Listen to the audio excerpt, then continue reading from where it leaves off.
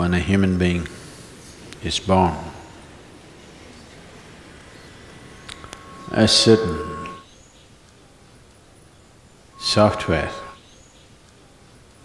is set within himself, which is a combination of time, energy, and the information that he carries with him.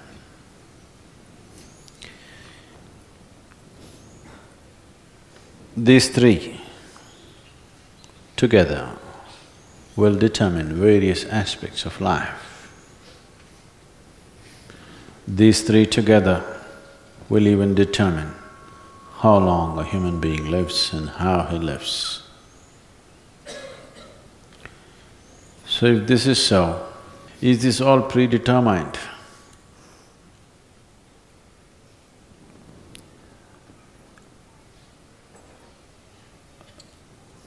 The information is definitely predetermined. This does not mean you cannot take in new information. It is just that it kind of pushes you or pulls you towards certain type of things depending upon what kind of information you have.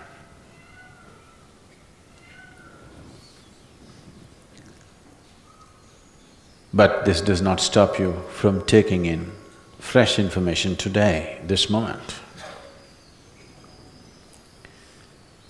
Energy is allotted for different aspects of life.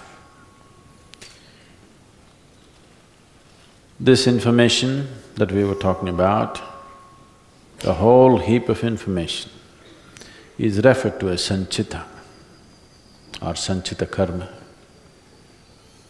The allotted information which must be handled, which is more urgent, express and a little more compulsive than the rest of it.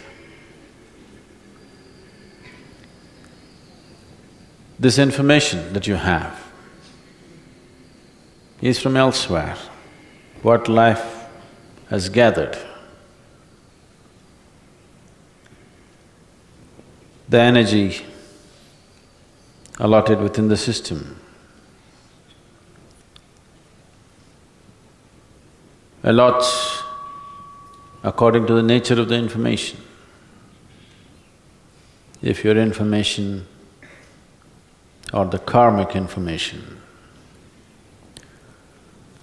is leaning towards or veering towards, let's say, for example, physicality, you will see the energies naturally allot themselves into the physical structure of who you are. If the information is leaning towards your intellectual process, accordingly the energy allots itself to that activity. If the information is very emotional, energy allots itself to that dimension. If it is inclining towards a spiritual dimension, then energy allots itself in that direction. This allotment is happening by natural tendencies, but this does not mean one cannot reallocate. One can reallocate, but if you simply go by your tendencies, yes, life is predetermined.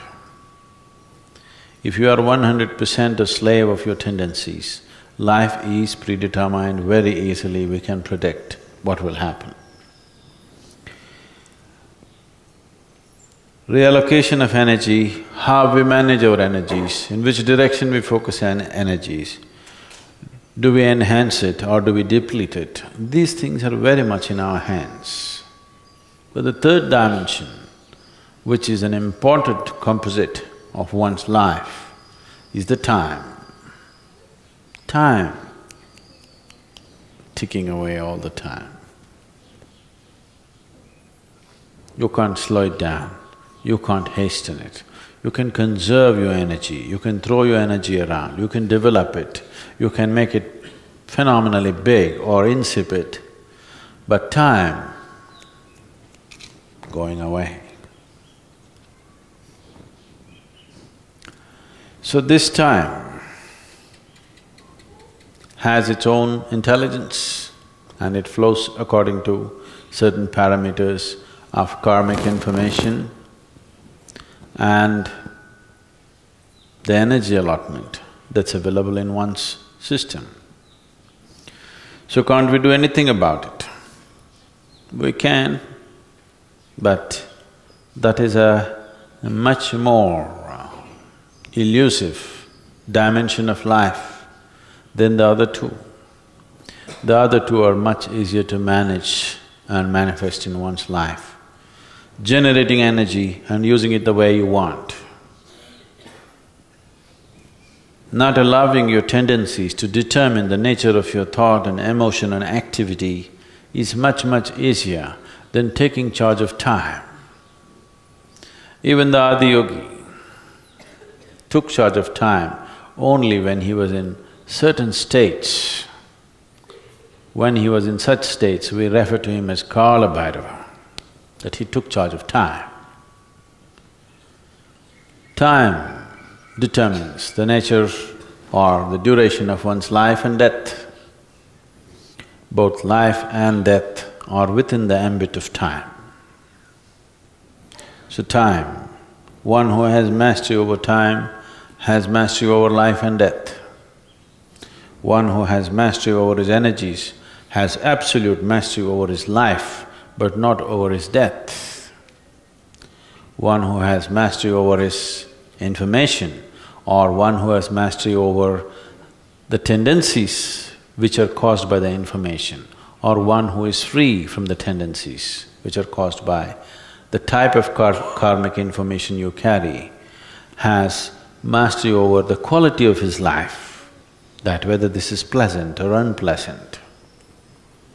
One who has mastery over his energies will determine the nature of his activity and how he lives. One who has mastery over time will determine the nature of his life and death and he can determine whether he wants to live or die. So these three components together is the making of life. These three components together is what you are right now. The accumulation of body, the accumulation of information is essentially determined by these aspects. Depending upon what type of karmic information you have, you tend to go towards a certain type of information, certain type of activity. Depending upon how your energy is allotted, you naturally tend to choose certain type of activity. So they were asking me, Sadhguru, our activity, isn't it a barrier? If we give up activity, won't we be progressing spiritually faster? If you can give up all levels of activity, yes, for sure. Giving up activity, all levels of activity includes food and going to the toilet and what happens in your mind. Nishkarma is the best karma. That means no activity, everything is at standstill. You just don't do work, that's not nishkarma, that's bumming around.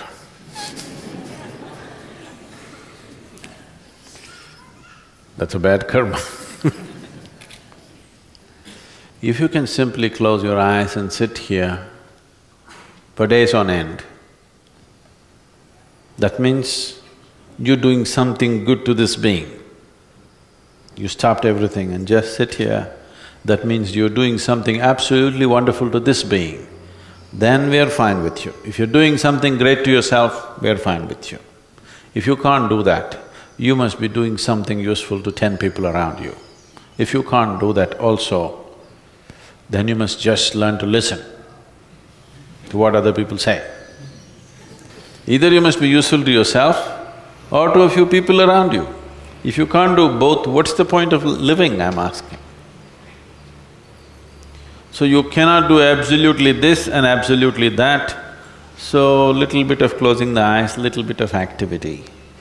Not little Sadhguru whole day, that's what I call as little.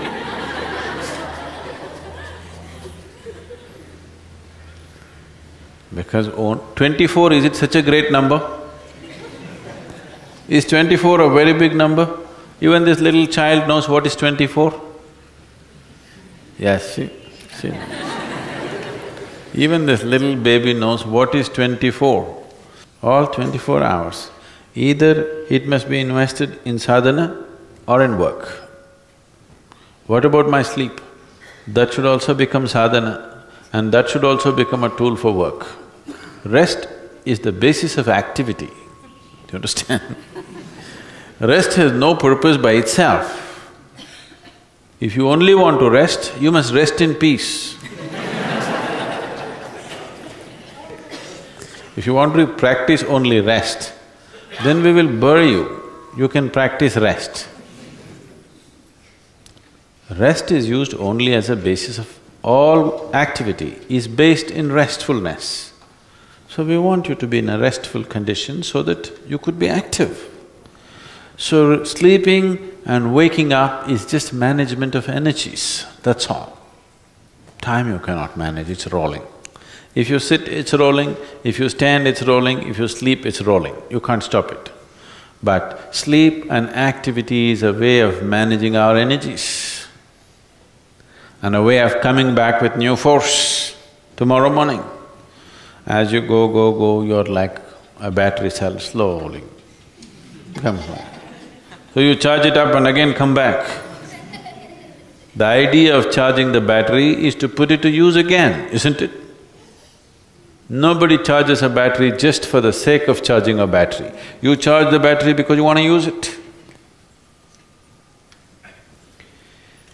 So, if one not intellectually understands, if one grasps these three dimensions within yourself, that you are a combination of time, energies and information. If you can conduct these three things, if you can conduct all these three things effectively, then you're free in every way, in every way. That's liberation. That's mukti. If you can conduct all these three things consciously, you are one hundred percent free. If you just conduct your information consciously and you can manage it well, you are thirty-three percent free, you still don't have passing mark. If you manage your energies well and also information well, you're sixty-six percent, all right, you're doing okay. But if you manage all the three, then you're free.